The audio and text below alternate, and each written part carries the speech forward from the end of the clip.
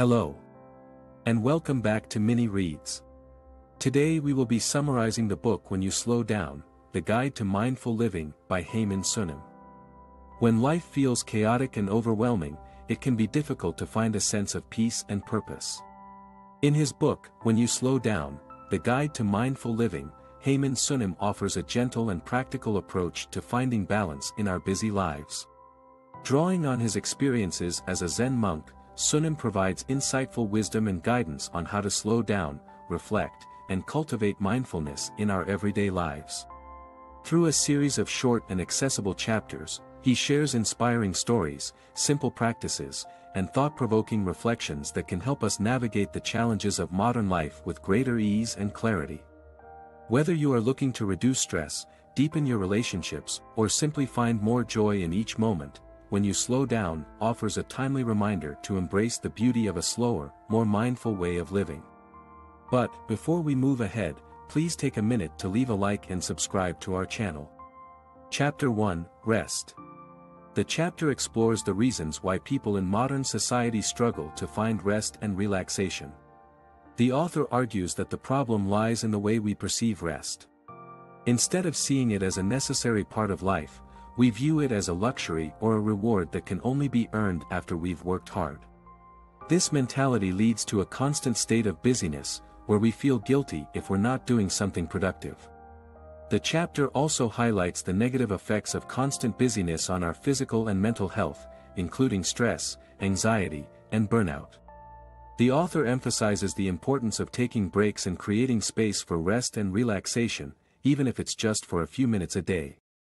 Sunim suggests simple activities that can help us find rest and recharge, such as going for a walk, listening to music, or practicing mindfulness meditation.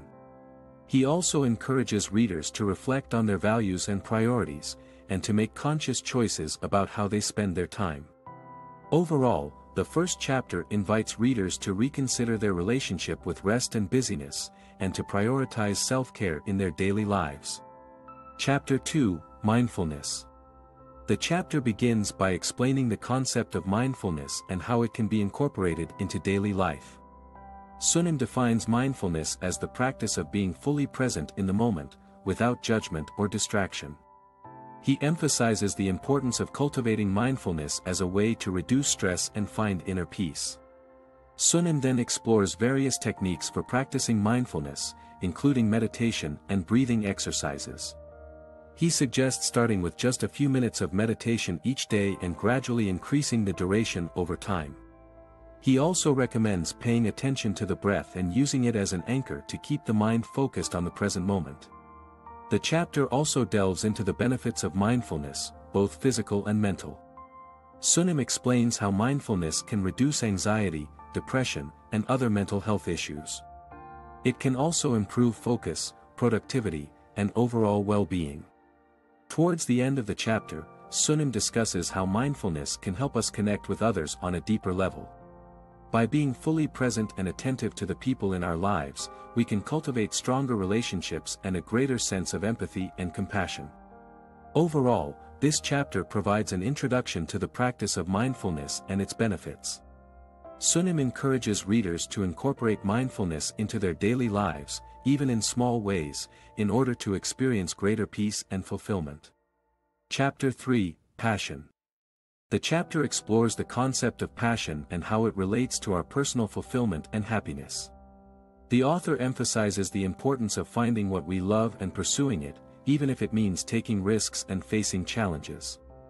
Sunim believes that passion is not something that we simply stumble upon but something that we must actively seek out and cultivate. He suggests that we start by paying attention to what we enjoy doing and what brings us a sense of purpose and meaning in life. The author also encourages readers to let go of the fear of failure and instead view mistakes as opportunities for growth and learning. He argues that passion requires persistence and determination, and that setbacks and obstacles are simply part of the journey towards achieving our goals.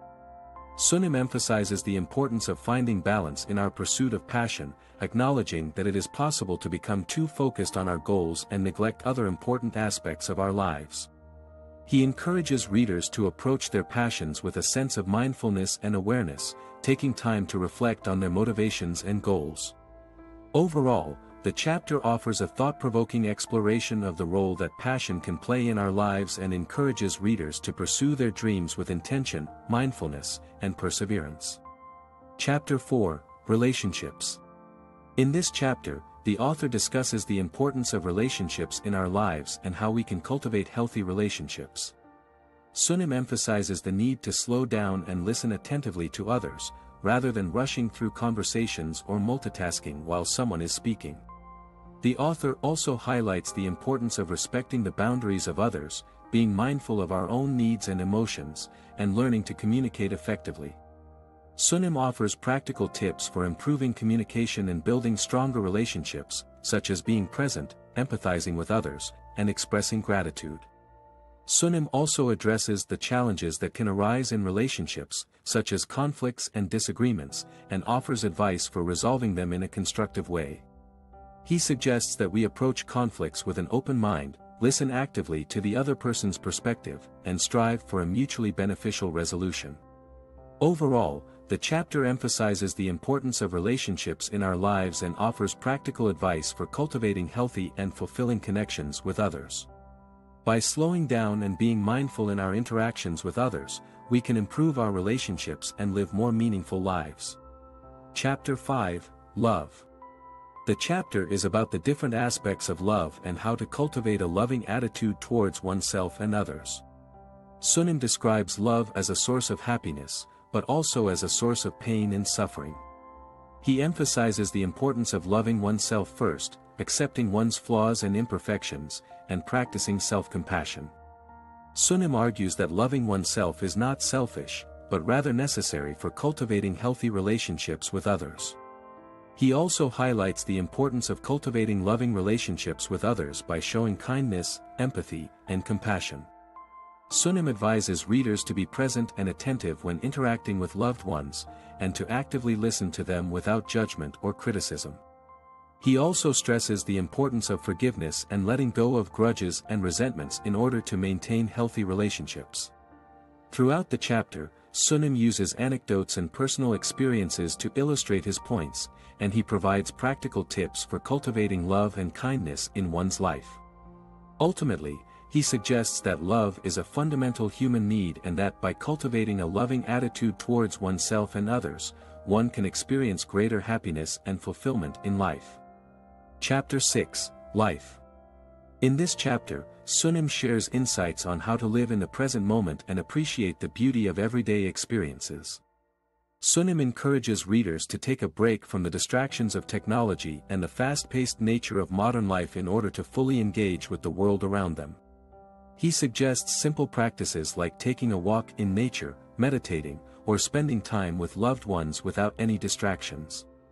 Sunim also emphasizes the importance of cultivating a sense of gratitude and finding joy in the small things in life. He encourages readers to take notice of the beauty in everyday objects, like a flower or a sunset, and to appreciate the kindness of others. Overall, Sunim's message in this chapter is to slow down and savor the moments that make up our lives, rather than rushing through them in pursuit of something else. By living in the present moment and finding joy in simple pleasures, we can cultivate a more meaningful and fulfilling life. Chapter 7 The Future The chapter explores the topic of uncertainty and anxiety about the future. The author acknowledges that we cannot predict the future, and worrying about it only leads to stress and anxiety. He suggests that we need to cultivate a sense of mindfulness and focus on the present moment rather than constantly worrying about the future. Sunim encourages us to adopt a flexible mindset and embrace change rather than resisting it. He also suggests that we need to trust in the process of life and have faith that things will work out in the end. The author also emphasizes the importance of self-care and taking breaks from our daily routines to recharge our batteries. Furthermore, Sunim reminds us that we are not alone in our struggles, and we can find comfort and support in our relationships with others. He encourages us to connect with those around us and be open to receiving help from others. In conclusion, the chapter encourages readers to let go of their worries about the future and focus on the present moment. By cultivating mindfulness, adopting a flexible mindset, trusting in the process of life, and seeking support from others, we can find peace and contentment in our lives. Chapter 8 Spirituality The chapter explores the nature of spirituality and how it can be cultivated in our daily lives. The author explains that spirituality is not necessarily linked to any particular religion or belief system, but rather refers to the search for meaning and connection in life. Sunim describes various practices that can help individuals cultivate spirituality, such as mindfulness meditation, spending time in nature, engaging in creative pursuits, and developing a sense of gratitude. He also emphasizes the importance of developing a sense of compassion and empathy towards others, as this can help us feel more connected to the world around us. Throughout the chapter, Sunim shares personal anecdotes and insights from his own spiritual journey, and encourages readers to find their own path towards greater spirituality. He suggests that by slowing down and taking time to reflect on our lives, we can cultivate a deeper sense of meaning and purpose, and find greater fulfillment and joy in our daily experiences. Conclusion Sunim provides readers with insightful advice and practical exercises that help them cultivate mindfulness and live a more intentional life. He highlights the importance of being present in the moment and encourages readers to embrace their imperfections and practice self-compassion. In the end, Sunim reminds us that slowing down doesn't mean we are giving up on our goals or ambitions, instead, it allows us to appreciate the journey and the present moment. By slowing down, we can cultivate deeper connections with ourselves and others, find joy in the simple things, and ultimately live a more fulfilling life. Overall, When You Slow Down, is a must-read for anyone looking to improve their mental and emotional well-being and live a more meaningful life. Sunim's wisdom and guidance offer a refreshing perspective on modern life and inspire readers to slow down and savor the beauty of the present moment. So, that's the complete summary of the book Ikigai by Hector Garcia and Francesc Miralles. Please do like and subscribe for more inspiring content. Thanks for watching.